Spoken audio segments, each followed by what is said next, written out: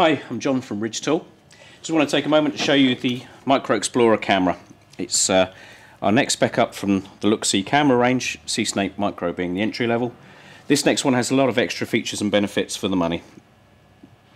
As you can see initially, you've got a much larger screen, much clearer image, self-lit LED head, and one of the benefits with this one, when it's on the lance, it's got a self-leveling system built into the head, so no matter what you do with the camera head, the image writes itself.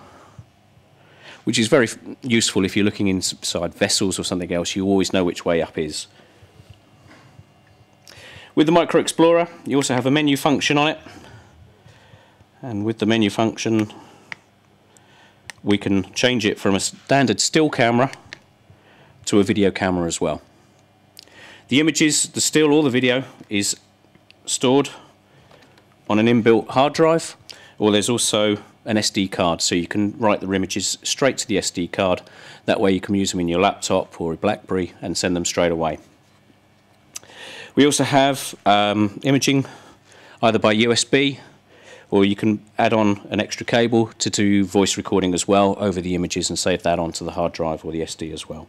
The unit itself comes with a battery recharger, so rechargeable batteries with this. Accessory kit which goes on the end of the camera imager head. Get three tools. These basically just clip onto the end. You have uh, a little mirror. It clips on the end of the head like that. So if you're down pipe work, etc., you can see around a 45 degree angle. You have a magnetic version as well, or you have a hook as well. The camera itself was originally and ideally suited to uh, drainage guys or to plumbing heating engineers. The camera itself is absolutely submergible to that point. Comes as standard with this lance. It can also have extensions put onto it to go up to approximately 10 meters and still be fully submergible to that point.